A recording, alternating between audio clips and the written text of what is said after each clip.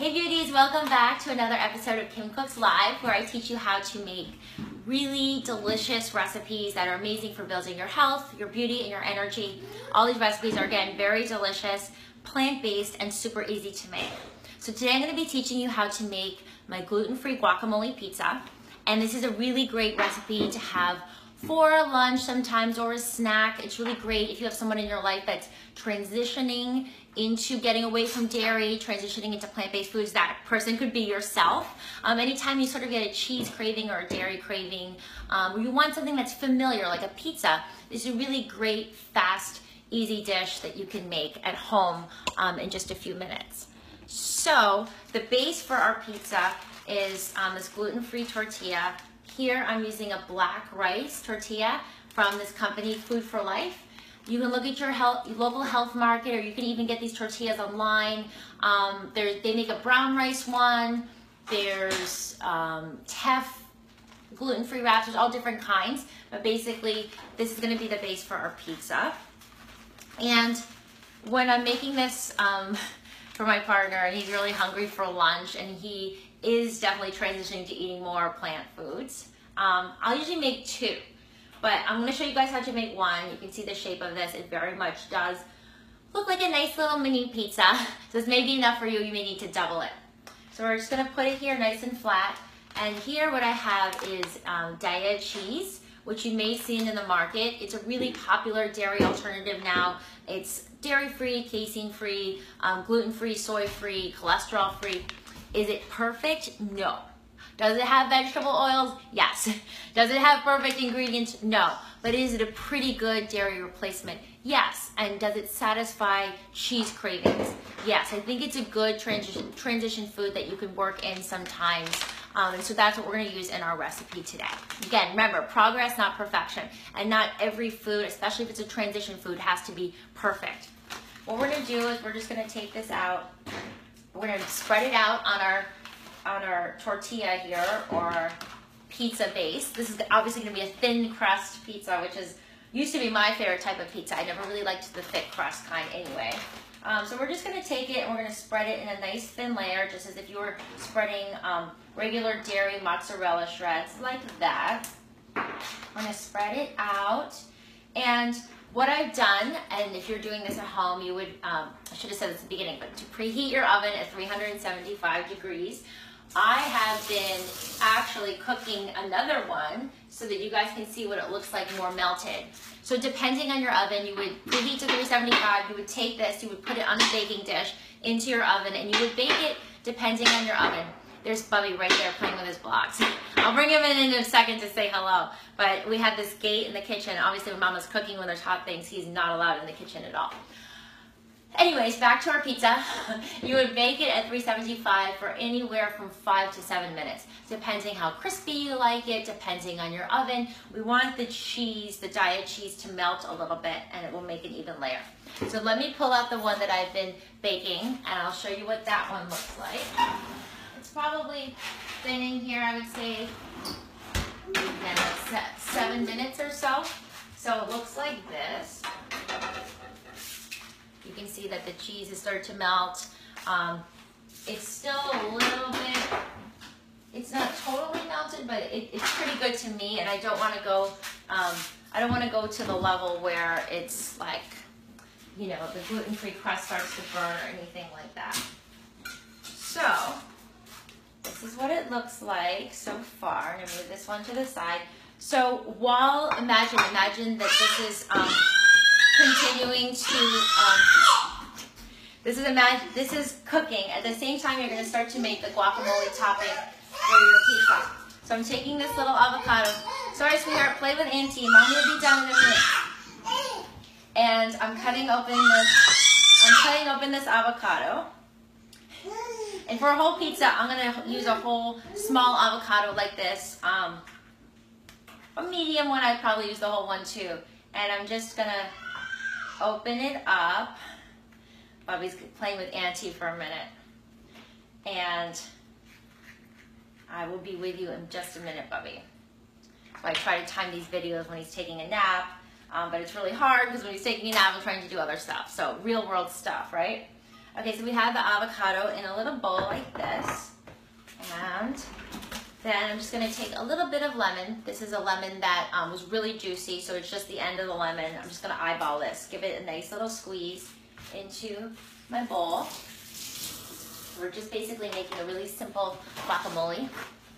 And I'm gonna take some black pepper. You guys know I talk about this a lot, but basically I'm not using any garlic anymore.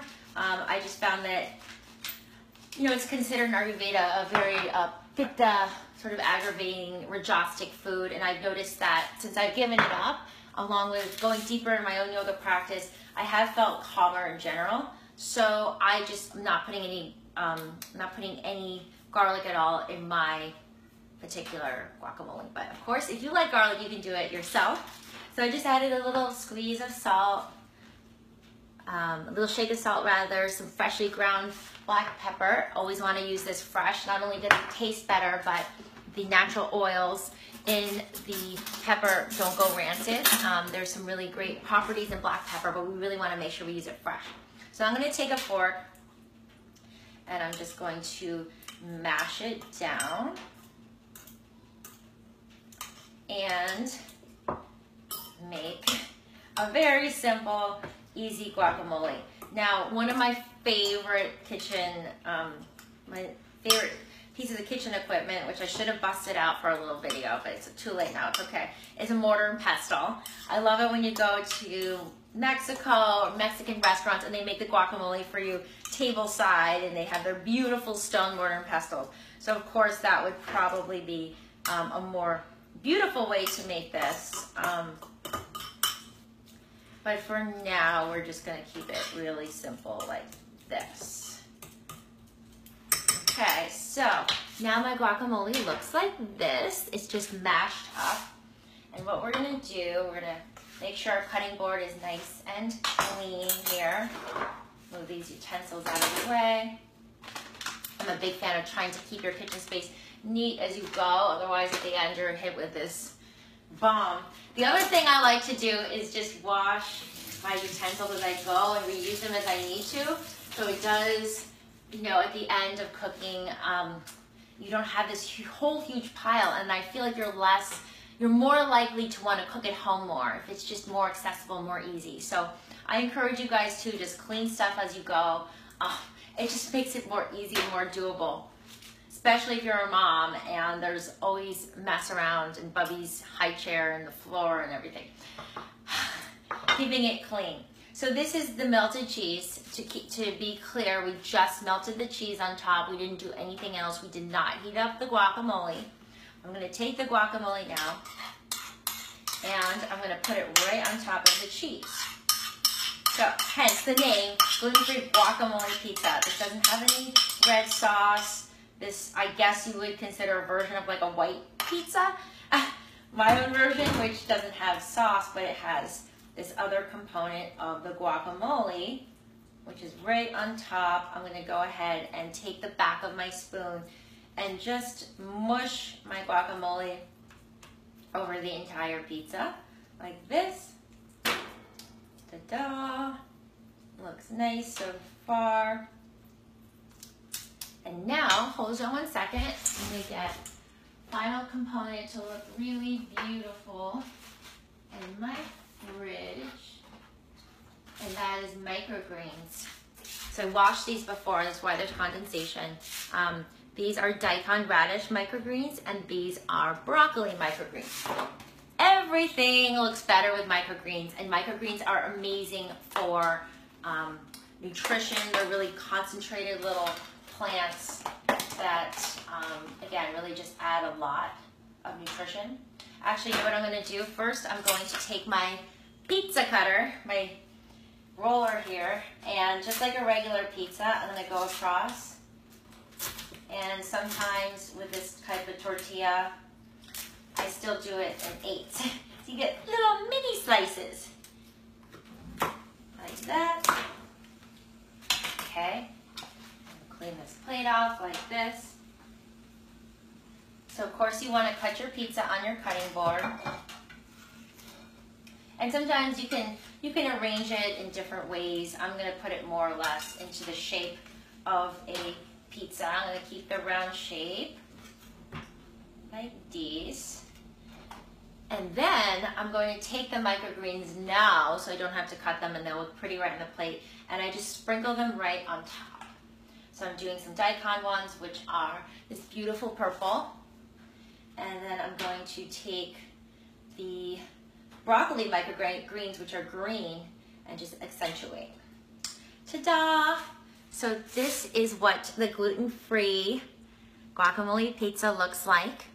It's gluten-free, it's delicious, it's got beauty fat in it, it's got minerals, um, it's got some vitamin C from the lemon juice. It's got a lot of uh, different amino acids and enzymes from these little microgreens. So here's what a piece looks like. Mm. my God. So delicious, so tasty, great weekend lunch or fast dinner or snack again, Daiya cheese is a good um, alternative to work in, good cheese alternative sometimes. Not an everyday product to eat, but a good one, a good craving slash transition food slash sometimes food. Progress, not perfection. So I'll give you guys a last little look at my pizza. So I hope you guys try this for yourselves at home. Remember the gluten-free wrap can be anything from black rice to brown rice to teff um, but you can get the tortillas in the refrigerated section usually at any health market, or you can get them online, um, and everything else should be pretty easy to source.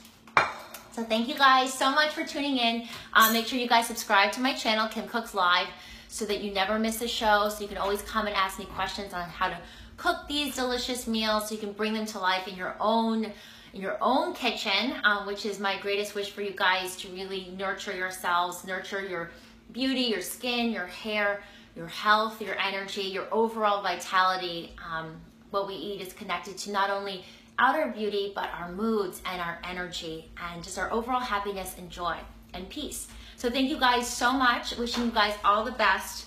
Uh, remember, there's lots more recipes on KimberlySnyder.com that you can also check out. Lots of love.